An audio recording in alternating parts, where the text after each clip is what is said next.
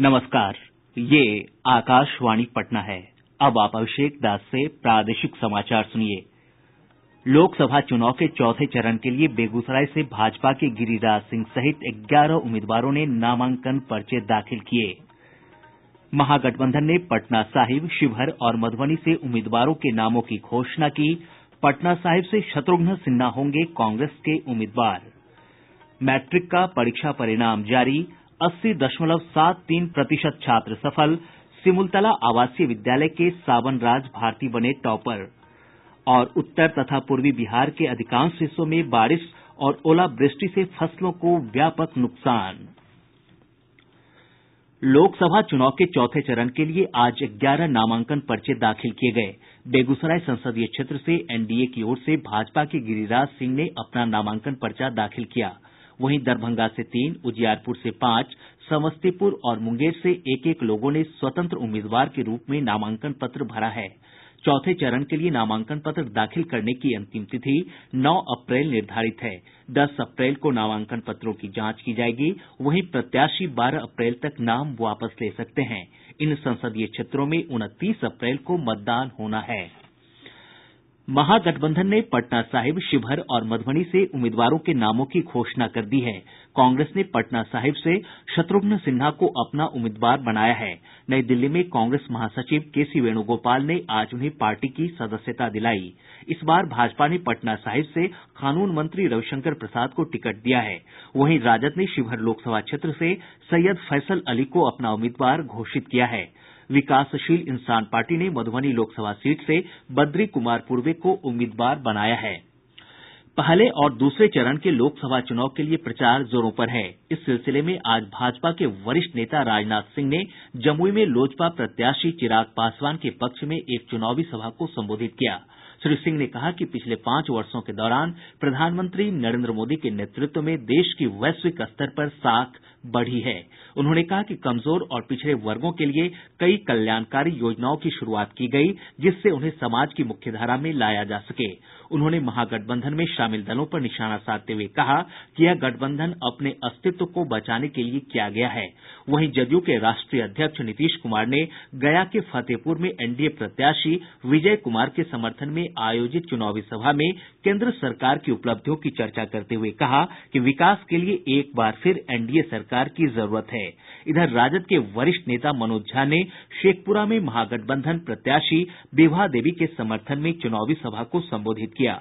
मधेपुरा में राजद उम्मीदवार शरद यादव ने जनसंपर्क अभियान चलाकर लोगों से समर्थन की अपील की। भाजपा के वरिष्ठ नेता सुशील कुमार मोदी और प्रदेश अध्यक्ष नित्यानंद राय ने बेगूसराय में पार्टी उम्मीदवार गिरिराज सिंह के समर्थन में चुनाव प्रचार किया। रालोसपा के पूर्व कार्यकारी अध्यक्ष नागमणि और उनकी पत्नी सुचित्रा सिन्हा आज जदयू में शामिल हो गयीं पटना में आयोजित मिलन समारोह में पार्टी के प्रदेश अध्यक्ष वशिष्ठ नारायण सिंह ने दोनों को पार्टी की प्राथमिक सदस्यता दिलाई। भाजपा के विधान पार्षद सच्चिदानंद राय ने महाराजगंज संसदीय क्षेत्र से निर्दलीय प्रत्याशी के रूप में चुनाव लड़ने की घोषणा की है। हिन्दुस्तानी अवाम मोर्चा ने अपना घोषणा पत्र जारी कर दिया है। पार्टी के राष्ट्रीय अध्यक्ष जीतन राम मांझी ने घोषणा पत्र जारी करते हुए कहा कि भूमि सुधार को लागू करना, जनसंख्या के आधार पर आरक्षण और न्यायिक बहाली में आरक्षण उनके पार्टी के प्रमुख मुद्दे हैं। जमुई संसदीय निर्वाचन क्षेत्र में 11 अप्रैल को होने वाले चुनाव को लेकर घमासान तेज है। हमारे संवाददाता की ग्राउंड रिपोर्ट।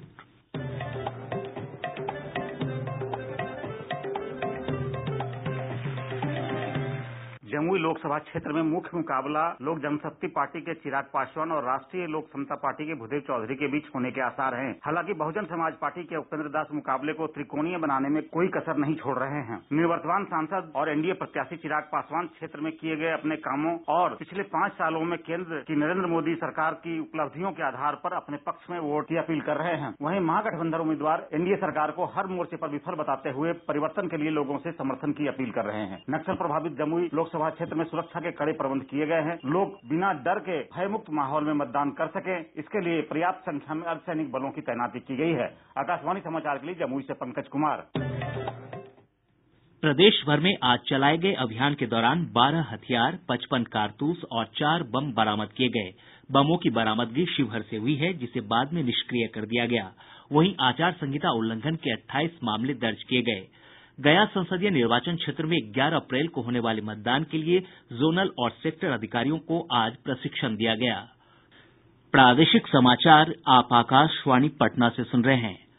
बिहार विद्यालय परीक्षा समिति ने मैट्रिक का परीक्षा परिणाम जारी कर दिया है। इस बार अस्सी दशमलव सात तीन प्रतिशत छात्रों को सफलता मिली है।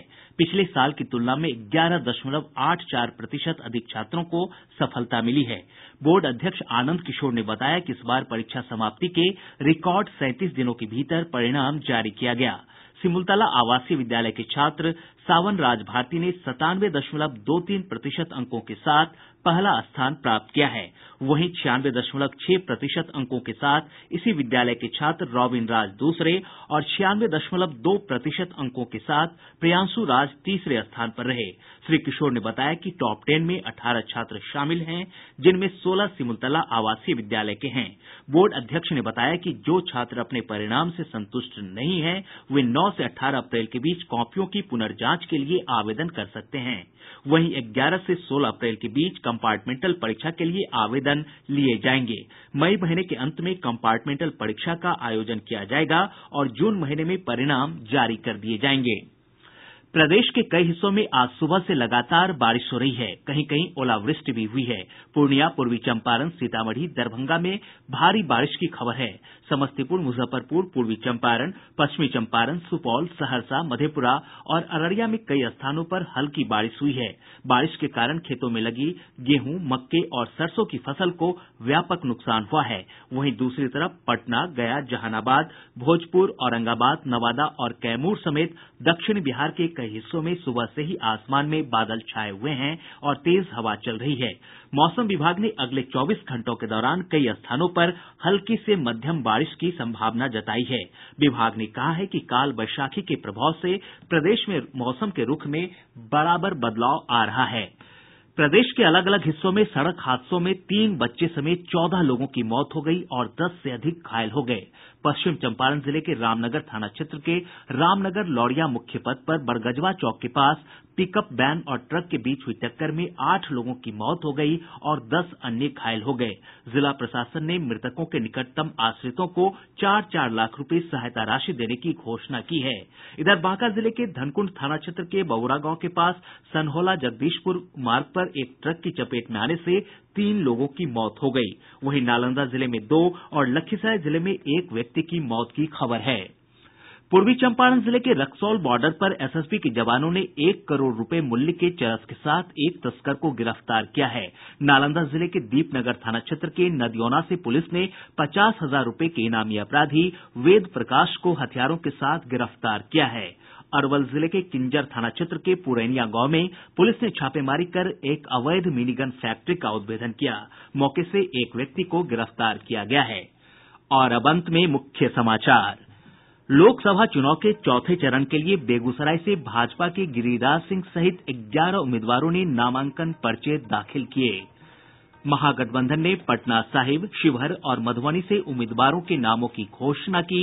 पटना साहिब से शत्रुघ्न सिन्हा होंगे कांग्रेस के उम्मीदवार। मैट्रिक का परीक्षा परिणाम जारी, अस्सी दशमलव सात तीन प्रतिशत छात्र सफल, सिमुलतला आवासीय विद्यालय के सावन राज भारती बने टॉपर। और उत्तर तथा पूर्वी बिहार के अधिकांश हिस्सों में बारिश और ओलावृष्टि से फ़सलों को व्यापक नुकसान। इसके साथ ही आकाशवाणी पटना से प्रसारित प्रादेशिक समाचार का ये अंक समाप्त हुआ।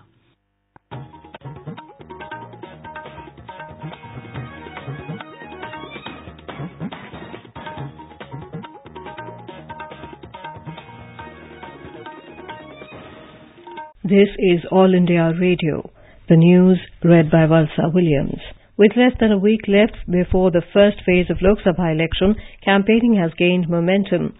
Senior BJP leader and Prime Minister Narendra Modi today addressed rallies in Odisha, Chhattisgarh and Maharashtra, while the Congress President Rahul Gandhi held three rallies in Uttarakhand. Addressing an election rally in Hathod village near Balod district of Chhattisgarh this afternoon, Mr. Modi said the picture of intentions and policy is clear in the mind of the people of this country. He said Congress and its allies are fighting elections to create a helpless government, while the BJP is doing it to form a strong government. Mr. Modi said Congress and its coalition partners are fighting to give a free hand to terrorists and separatists, while BJP is fighting elections to get them punished.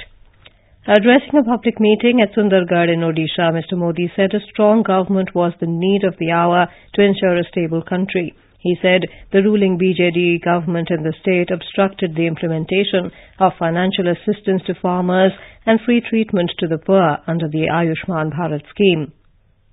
The Prime Minister said NDA government believes in Sabka Saath, Sabka Vikas. Holding a public meeting at Sonpur, he said the NDA government has given free LPG connections to women and free electricity connections to the needy. Congress President Rahul Gandhi has said if voted to power at the centre, Congress government will give 72,000 rupees per year to 20% poor families having income of less than 12,000 rupees. He was addressing an election rally in support of party candidate Manish Khanduri from Garhwal in Srinagar in Uttarakhand today. Giving the slogan of Garibi par Var Bahattar Hazar, Mr. Gandhi said his first target will be to do surgical strike on poverty. He said the BJP government is working on the direction of capitalists. He said on coming to power, Congress government will give the status of martyrs to those paramilitary forces personnel who laid down their lives in the defense of India. Mr. Gandhi also addressed rallies at Almora and Haridwar in Uttarakhand. The BJP has released another list of 24 candidates for the Lok Sabha elections. The list contains the names of eight candidates for Haryana, four candidates each for Rajasthan and Uttar Pradesh, three each for Jharkhand and Madhya Pradesh, and one each for Odisha and West Bengal. Prominent among those who have been given tickets are Union Ministers Rao Indrajit Singh from Gurgaon and Krishnapal Gurjar from Faridabad in Haryana, while Vivek Sejwalkar from Gwalior and Nathan Shah from Chhindwara have been named in Madhya Pradesh.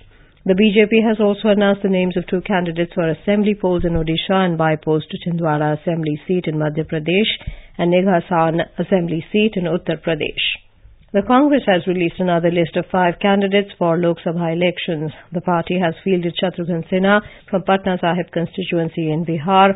The BJP MP and actor turned politician had joined the Congress earlier today. The party has announced the candidature of Ram Lal Thakur from Himachal Pradesh's Hamirpur seat. In Punjab, Jasbir Singh Gill has been fielded from Khadur Sahib, Dr. Amar Singh from Fatehgarh Sahib and Mohammad Sadiq from Faridkot in Punjab. UPA chairperson Sonia Gandhi today said people are being taught a new definition of patriotism and those not accepting diversity are being called patriots. Addressing People's Agenda Jan Sarokar 2019 in Delhi, the senior Congress leader alleged that the NDA government is not ready to respect dissent.